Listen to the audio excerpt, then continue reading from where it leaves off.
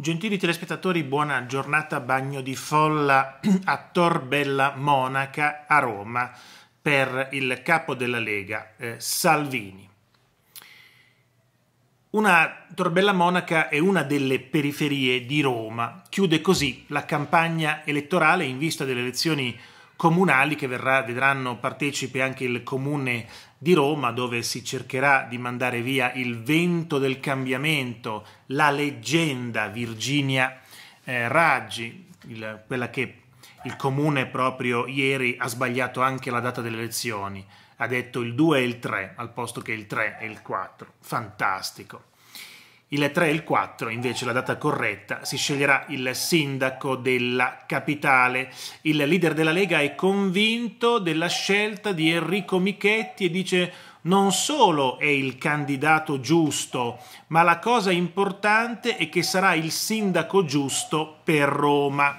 In bocca a Luca, per, a Luca, non a Luca, ma al lupo, perché con Simonetta Matone ti aspettano cinque anni di duro lavoro non c'è nessuna separazione nella Lega, le separazioni sono eh, altrove, c'è una sola Lega che è al governo e ottiene eh, risultati.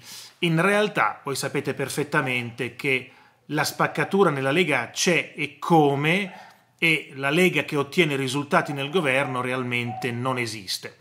Noi siamo qui per gridare che Tor Bella Monaca come Corviale, Primavalle, San Basilio non sono delinquenti e spacciatori, ma un sacco di persone per bene, famiglie, mamme e bambini.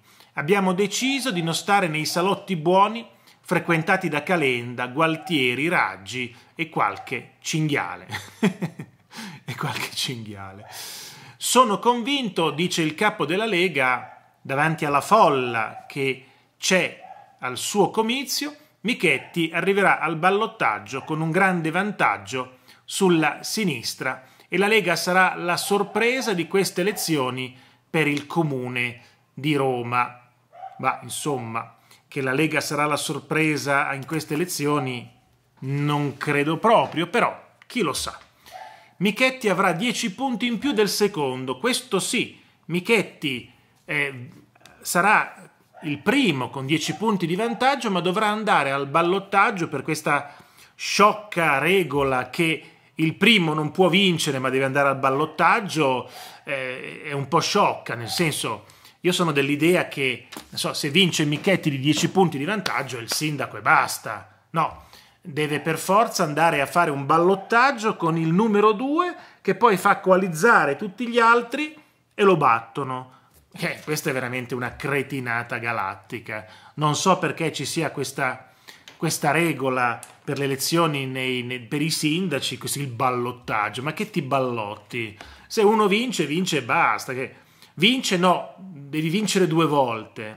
Che, che stupidaggine. Vabbè, così eh, dice poi. Eh, e la Lega prenderà molti più voti di quanto qualche giornalista di Repubblica o del Fatto scrive. Beh, caro Salvini, non è che se Repubblica o il Fatto scrivono che la Lega Roma perde, poi perde. Che te frega quello che scrive il Fatto Quotidiano e la Repubblica? L'importante sono i voti. Vedremo i voti il 3-4 settembre perché ormai da, dal 2019 eh, o qualche elezione regionale che c'è stata non abbiamo più visto realmente dei voti. Abbiamo visto solo sondaggi, sondaggi. Tutti i sondaggi sono di parte. Ci sono quelli di parte di centrosinistra, quelli di centrodestra, quelli che fanno finta di essere imparziali invece sono di parte pure. È difficile trovare un istituto demoscopico che sia imparziale. Ma Salvini dice che all'onestà noi non vogliamo aggiungere la competenza. Ce la eh, ricordiamo ancora Virginia Raggi che diceva onestà, onestà? Ma l'onestà non basta, lascio il futuro di Roma in mano a voi.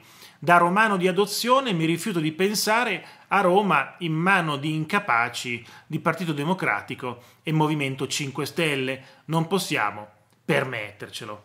Certo che Salvini che si definisce romano di adozione...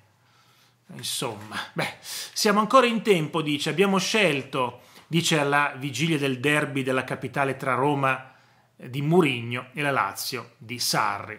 Un sindaco e prosindaco nel rispetto del derby, uno della Roma e uno della Lazio, dice eh, Matteo Salvini che dice cari romani, ora dateci fiducia. E così Matteo Salvini chiude la campagna a Torbella, Monaca. Bene, eh, io vi ringrazio per avermi ascoltato. Vediamo che tutti e due i leader di centrodestra hanno eh, riempito eh, le piazze, eh, una piazza a Milano, piazza Duomo, e a Roma, a Torbella Monaca, Salvini. Ecco, con le, le locandine, Roma eh, torna capitale, eh, vota Lega, ecco, insomma, alla fine in queste, vedremo in queste elezioni regionali come come i partiti si posizioneranno, perché voi sapete che a Napoli i partiti hanno delle, delle, delle percentuali, a Milano altre, a Venezia altre, a Bologna altre, eh, la sinistra è più forte a Bologna e meno forte da altre parti. Naturalmente non si potrà prendere per buono, ad esempio, la Lega, quello che fa a Napoli, perché lì è, è debole, o, o, bisognerà fare una media una media di tutti, mi sembra che i comuni che vanno al voto sono 1100, una cosa del genere.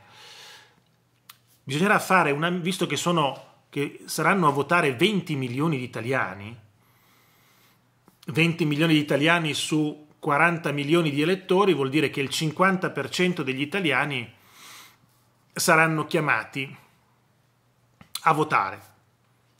Pertanto sul 50% degli italiani si potrà fare una bella media dei partiti, avranno dei sistemi dove metteranno dentro tutti i dati, verrà fuori un, una media nazionale di tutti i partiti.